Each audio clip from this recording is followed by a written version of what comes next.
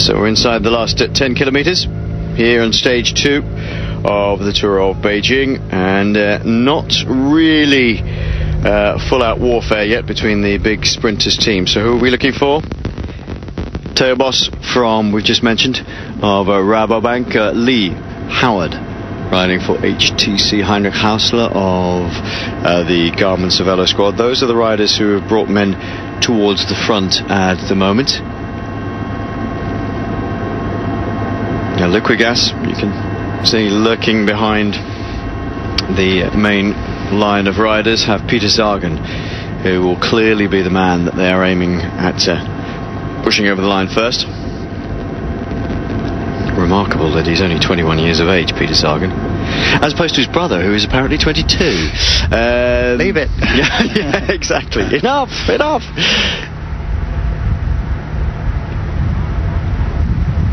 Meyer at the back of the peloton. Done his bit of work early on. We've seen plenty of him. There's been a lot of work being done uh, by riders from Garmin Cervelo trying to keep the pace high enough for Heinrich Haussler. The uh, national champion of uh, Australia, by the way, is Jack Bobridge. Uh, sitting in the back, next to Meyer on his right, who is the time trial champion of Australia. We saw him in the jersey yesterday, so the two of those guys uh, really uh, have been on the track on and off since their junior days, part of the Australian Institute of Sport squad. And brilliant riders, both. And world champions to boot. Bobridge, the fastest man over four kilometres ever. That was a stunning ride. Yeah. I think everybody was surprised when they woke up in the morning and heard that had happened. Still think it's a shame that that event's not in the Olympics anymore. Individual pursuit. Yes, um, yeah, it's one of those. It's going to be one of those ongoing debates, isn't it? Yeah. Interestingly, it's the Chinese. You know, you can see how powerful uh, the the whole Chinese cycling phenomenon is becoming because I think as the Chinese became more influential on the International Olympic Committee and, of course, on the UCI before the Beijing Olympics, a lot of the endurance um, events tended to just gently go by the board or they were removed from the calendar. And the sprint events in which other nations can start to compete a little bit more equally, uh, or certainly have more uh, people in their program, have uh, have come to the fore. I think there's there's a great amount of credence to that argument. A lot of people would deny it, of course, at the top end of uh, cycling, including the UCI and the Chinese uh, Cycling Federation. But I think it's actually uh, possibly the case is that um, you have to tailor events. I think it's it was just practicality. They had to tailor events to uh, co- cater for other nations coming in. But it is a great shame. The kilo is gone as well, so uh, these sort of traditional events are going. But we're seeing it on the road. New events here, things like Paris Brussels. You were saying disappearing. Yeah, yeah. It's uh, it's going to be an ongoing, uh, ever-evolving uh, change in uh, in the whole cycling scene worldwide. Bunch getting a bit uh, bit more active now, a bit more jostling for position. Neil Ransom saying, I'm watching in the UK. I've got to say, you don't sound like a morning chap. Uh, somebody said that yesterday, actually. I don't think it's that, actually. I do. I, I quite like getting up in the morning. I'm not a problem with getting up in the morning and, and doing stuff. I just think there's not much going on. it's, it's just one of those things. tomorrow, may be a bit more. Yes, yeah, out in the mountains a bit, but uh, yeah, not an awful lot going on. Somebody said that in the Tour de France. Why aren't you talking about the race rather than about the castle? You know, why, are you talking about that castle there and not about the race? And my answer had to be, well, there isn't actually anything going on. Yeah, It's not worth TV pictures about. do the talking sometimes. Exactly.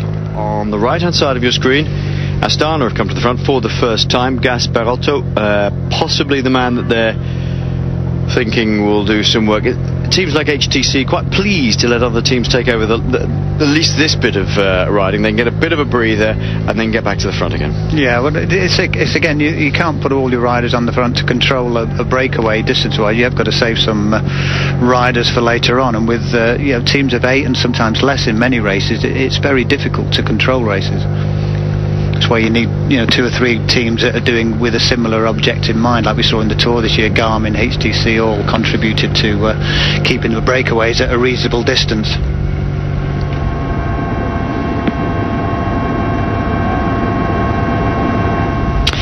apparently Andrew Talansky not starting this morning. Uh, that's the first we've heard of that. Um, a lot of people, you know, say, well, why didn't you say these things? If we don't have official confirmation of it, it's very difficult to say. But uh, that's the tweets that are going about. The Talansky from Garmin Cervelo not starting today, so they lost another man, unfortunately. Talansky, one of the leading lights of the under uh, 25s competition. Actually, somebody was asking why the little stars against some of the riders on the start list. That's because they're in the best young riders competition. Or they're eligible for it.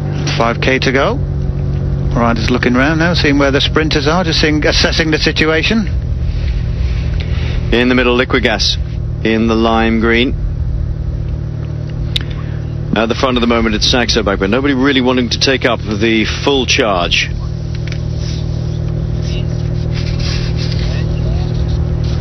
Left-hand side of your screen, uh, Lampre come to the front.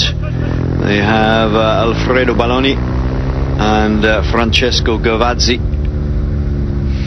Just it is a fairly straightforward run in this. This last five kilometres running alongside the river. Um, bit of a dog leg with about two, just over two and a half kilometres to go, but otherwise it's it's straight in uh, all the way to the finish and uh, good good wide roads, uh, flat flat finish as well. Two riders trying to ride away. It's uh, very unlikely to happen, one has to say.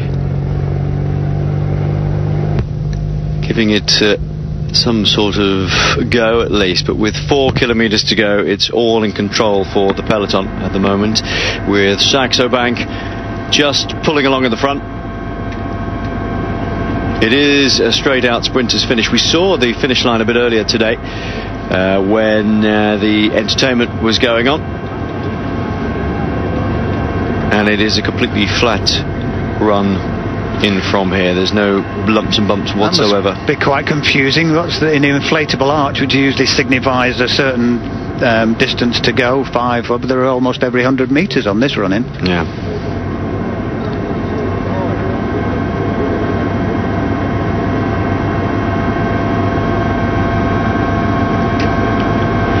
Well, we saw this section earlier. This is a running down by the uh, lake here. Beautiful road surface. I've got to say, it must be pretty uh, nice to, to ride in.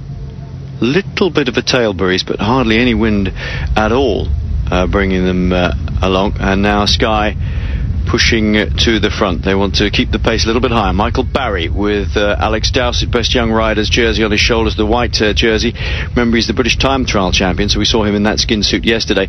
Uh, Appollonio has been in a fine run of form recently sort of a deja vu almost there. It sort of reminded me of uh, Geraint Thomas in the Tour de France in the white there. yeah, he looked at the front and the run-ins to the, exactly. uh, the sprints. And they have similar styles actually over the hoods. They look quite similar when they're when they're driving along. Now Rabobank looking to bring Theo Bos towards the line. BMC on the far right hand side getting a little boxed in at the moment. They've got Alexander Kristoff, the Norwegian champion. Look for the Norwegian champion's jersey. Here we go. Just as we said, Katusha coming to the front. They have Denis uh, Galimzyanov to run for this one. This is a little dog leg. And coming up to the last two kilometres, Rabobank establishing themselves at the front. That's a good place to be. They move their way uh, into that point very quickly. Whoop, careful. Coming up on the inside of the barriers is Sky. Rabobank moving across the road. Sky coming very quickly. Nearest to the camera. Um, it's a jostling position. One or two other riders maybe just easing up. Don't want to or get involved. Or maybe there's a bit of a. It's a crash. Yeah, that's what yeah, it is. Yeah, yeah. just split it up. Oh, uh, who is uh, on the deck? Well, we don't know. Is the answer to that? Um, you would doubt if it's any of the sprinters because they shouldn't be at that far back. They still might be jostling for places, but they should be up towards the front by now. Quick step.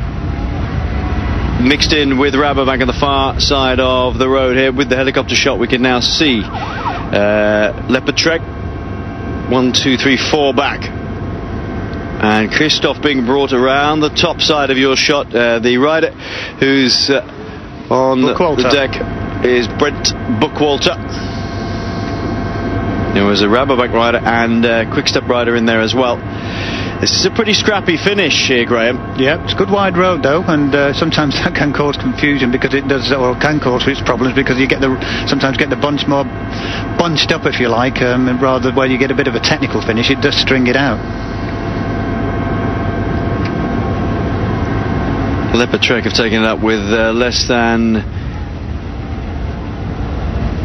less than uh, two to go. Where is the finish line? Where is the banner? We're coming into the finish line, I think, now. We've not seen the banner as Robert uh, Wagner uh, pulls off. This is the run in towards the line. Galimzyanov uh, pushed out on the right hand side of your shot. On the left hand side of the shot, it looks like uh, here comes Theo Bos. Bos on the wheel of Galimzyanov. Bos goes around the outside. Can he outsprint? I think Theo Bos is coming hard at this one. He's not quite going to get it. Ooh, I close. think that was Denis Galimzyanov just ahead of Heinrich Haussler. Bos on the left-hand side. I would suggest that that was... Is that Haydo? Yep. I would suggest that that was the order in which they finished. Galimzyanov, Haussler and Bos. I may be wrong very difficult to tell where that uh, finish line was and what was coming up. How to look annoyed in one easy lesson.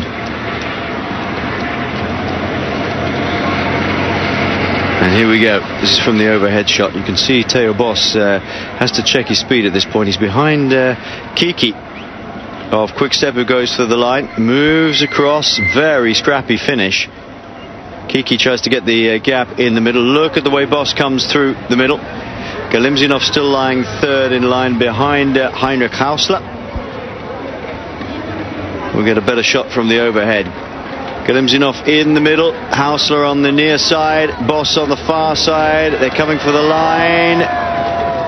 Yes, Galimzyanov, Haussler, Bos, I think. I think it might be Haussler. Oh, you think Haussler's Yeah. got that one? Let's have a look.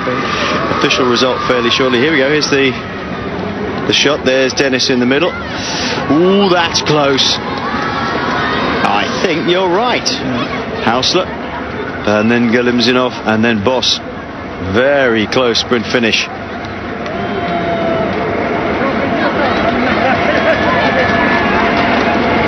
And behind, I would suggest the man from uh, Quickstep is Chicchi. But in the end, it turned out to be a pretty old scrappy finish, uh, Graham. Yeah, um, sometimes you can get these run-ins a little bit. The roads are a little bit too wide, um, and you get this bunching up sometimes. And again, you know, you get people easing up in the middle of the peloton. I always, I always have a the heart in my mouth when you see the riders doing the lead out, and they suddenly almost stop pedaling once they've done the lead out, and you you've got riders who are still going pretty flat out, trying to avoid them and go around them. So you always get that sort of incident. Two quick step riders going down in the crash uh, before the finish. And uh, Haydo, it looked like, who was uh, the man with the puncture. Contrast from yesterday, good crowd at the finish and that running the last few kilometres. Yeah. Uh, plenty of people out there, so that's nice to see. And uh, yes, I think I think we'll see that more and more as we get out into more into the provinces and the uh, the smaller towns rather than uh, in something like the Olympic Park we had uh, yesterday. Haussler then ahead of Galimzyanov and Bos. It was Chicchi in fourth. Kristoff gets fifth. Viviani, Appollonio, and Nizzolo is getting up there for Leopard Trek, which is good. Manuele Mori of Lampre. I'm surprised that they didn't get Gavazzi up there. And uh, Angel Madrazo finishing in uh, 10th spot, but a pretty scrappy finish.